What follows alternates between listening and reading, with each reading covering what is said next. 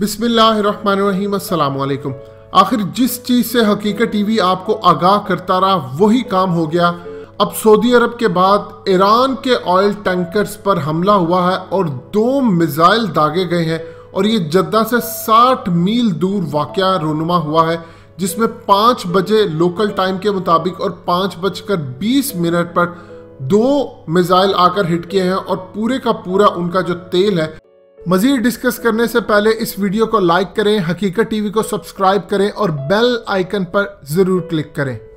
وہ ریڈ سی کے اندر جا کر بہنا شروع ہو گیا ہے۔ یہ دہشت گردانہ حملہ انتہائی اہم ترین اس وقت آیا جب عمران خان سعودی عرب اور ایران کی آپس میں دوستی کروانے کے لیے جان توڑ کوشش کرے اور عمران خان کا سعودی عرب کا اہم ترین دورہ ہونے جا رہا تھا۔ آپ یہاں سے اندازہ کر سکتے ہیں کہ معاملات کتنے زیادہ خراب ہو چکے ہیں۔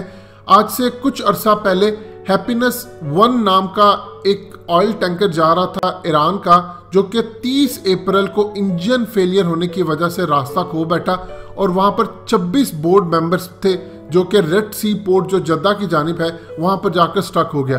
اس کے بعد سعودی عرب نے کہا کہ ہم اس کو آگے نہیں جانے دیں گے، آپ ہمیں دو لاکھ ڈالرز پر ڈے کا پے کریں۔ یعنی تقریباً آپ ہمیں جب تک دس ملین ڈالرز نہیں پے کریں گے، ہم اس کو جانے نہیں دیں گے، لیکن بیس جولائی کو اس کو ریلیز کروا کر واپس بلا لیا گیا۔ اب آپ اندازہ کر لیجیے کہ یہ کروانے والا کون ہے۔ کسی بھی شک کے بغیر ہم ایزیلی کہہ سکتے ہیں کہ ایران اور سعودی عرب کو لڑوانے کے لیے معاملات پوری طرح سامنے آ گئے۔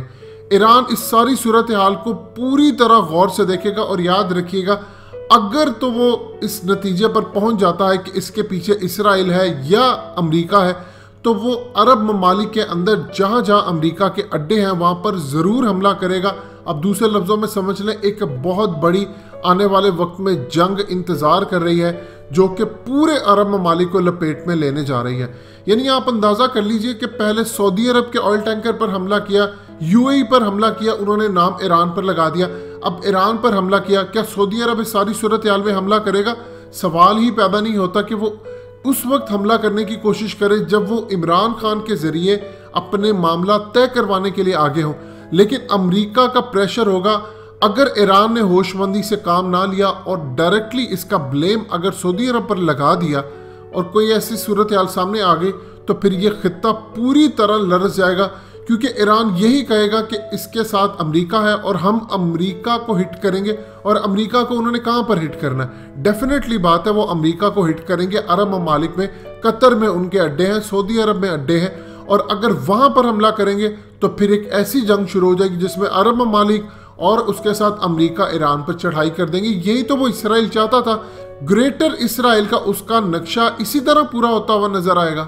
حسن روحانی اس وقت ایران کی انٹیلیجنس ایجنسیاں اور اس کے ساتھ روس کی انٹیلیجنس ایجنسیوں سے رابطے میں ہے کیونکہ اب انہوں نے جو بھی سٹیٹمنٹ جاری کرنی ہے، ان کو پتا ہے، اس سٹیٹمنٹ کے بعد یا تو خطے میں کوئی آگ لگ سکتی ہے یا خطہ برباد ہو سکتا ہے، یا وہ اس کو کول ڈاؤن کر سکتے ہیں۔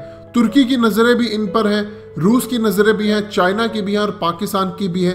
لیکن سب سے پہلے ان کی سٹیٹمنٹ کا انتظار رہے گا کہ آیا اس کے پیچھے کون سے عوامل ہیں اور کس طرح معاملات خراب کرنے جا رہے۔ ہیں اگر اس کے پیچھے کوئی اسرائیل یا امریکہ نکلتا ہے تو ایران فوری طور پر حزب اللہ کو کہے گا کہ آپ چھوٹا موٹا کوئی بھی حملہ کسی وجہ سے کر کے آپ اسرائیل پر داغ دیں اور ہم آپ کے پیچھے کھڑے ہیں۔